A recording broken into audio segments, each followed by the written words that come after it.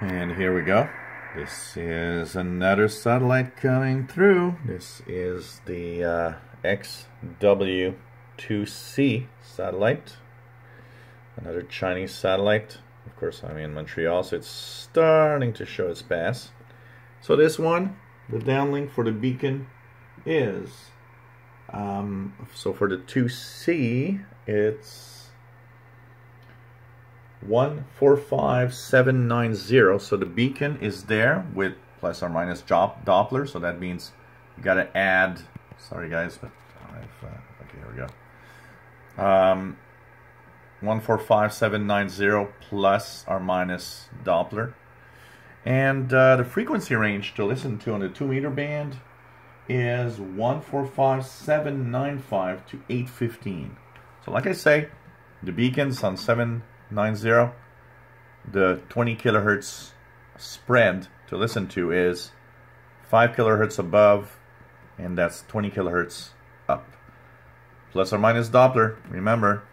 So you got to go a little above and a little below depending on what time you are and where you are in that pass. So can we hear the beacon? That's the first indication of the satellite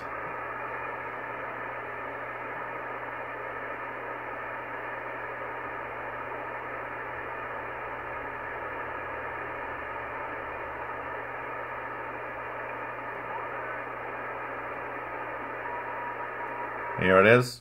I can hear it.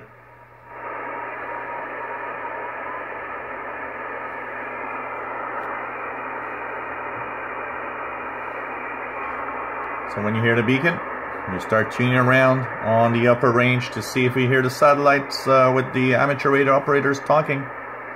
This one's making a great pass that is actually bringing me a big chunk of the United States and Canada, so it's going to be interesting.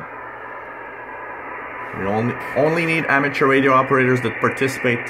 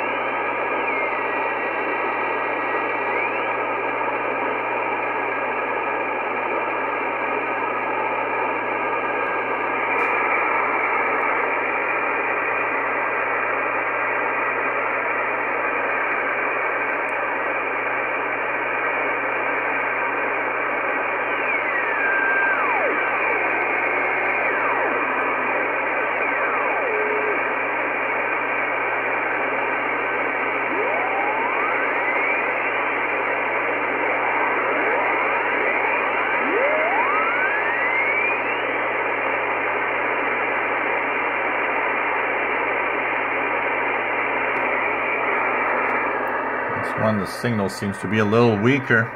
It could be because it's passing at a different angle. So you see here, it's Montreal's here, so it's passing to the west of me instead of almost directly over me like the other ones before. So sometimes it changes the pattern, but don't give up. You know, even if you don't hear or you heard just a little something, you're still inside the zone. you got to continue, uh, you know, tuning around because that's where you're gonna get the surprise of amazing signals. So don't give up as long as you're within the range of the satellite.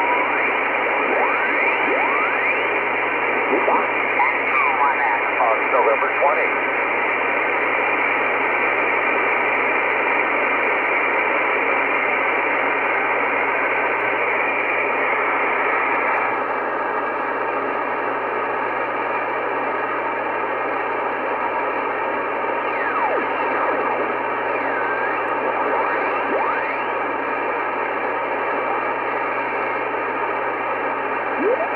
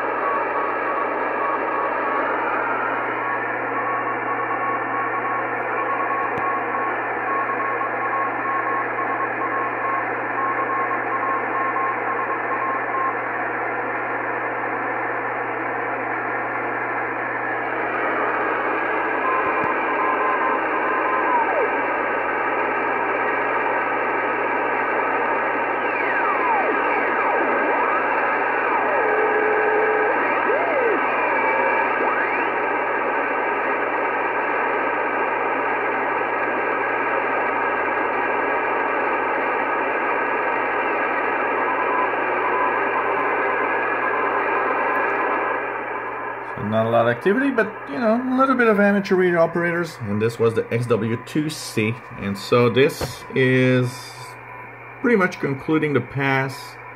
Uh, they're gonna come back. You know, if I look here, for example, if we right click and I, I, I look at the ground track, there's gonna be a next pass. So the other ones are gonna be a little closer. There might be some activity next pass. What I'm gonna do is actually look at it, and if something's interesting showing up, I'll post the videos for those also. So that's having fun with amateur radio satellites. There's a lot of things that you can actually listen to if you just know where to listen. So hope you enjoyed this series of videos, guys.